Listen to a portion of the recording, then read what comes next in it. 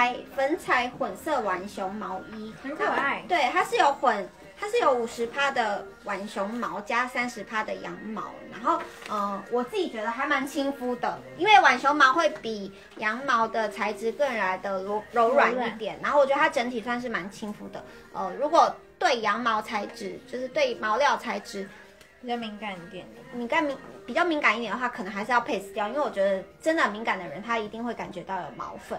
那如果是羊毛，可能四五十，你觉得没什么感觉的话，那这件你一定可以，而且你会觉得它是柔软的，然后颜色非常漂亮。现在 Debbie 身上的是紫色，它的颜色就很像那个粉彩笔混在一起的感觉，因为它有它有混一点点蓝色、粉色、白色色在里面。它的就是混混色，它的颜色混很漂亮。然后另外一个是绿色，然后绿色讲绿色，然后又混黄色。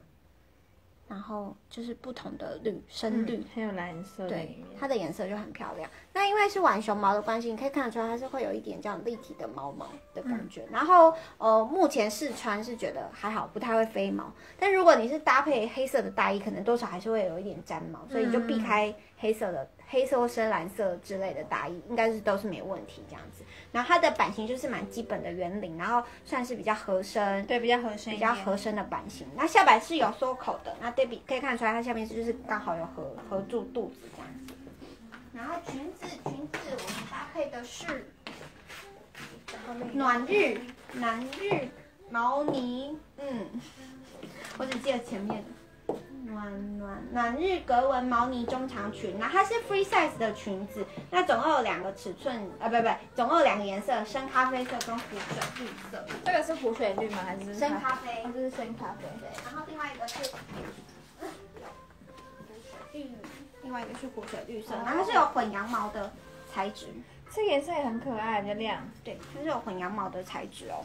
这颜色很漂亮哦，可以看卖场的穿搭照。对，真的。那它的格纹是比较大格的，可以看得出来它的格纹是比较整个是有点放大的感觉，所以我觉得还蛮漂亮的。就不同于小格子，它是有点不太一样的。然后是有厚度的毛呢，这件颜色很可爱。有厚度的毛呢毛料，这样子有厚度的毛料。然后它是做后松紧的设计，然后是一个 free size，然后对侧边拉链。那尺寸的话会比较建议 S 号到小 L 号，就是对对，像因为 Debbie 现在穿的比较高腰一点，那如果正腰的话可能就拉不上来了。正腰吗？你现在是正腰吗？没，我现在比较高腰嘛，对不对？对，就是可能我觉得可能就是小 L 号啦，臀围大概三十八左右穿会是比较漂亮的，不会太包臀这样子。然后嗯对。就是没有口袋，就是蛮直筒、蛮蛮直筒的版型。舅舅问两色的推哪色？是问裙子吗？应该是吧。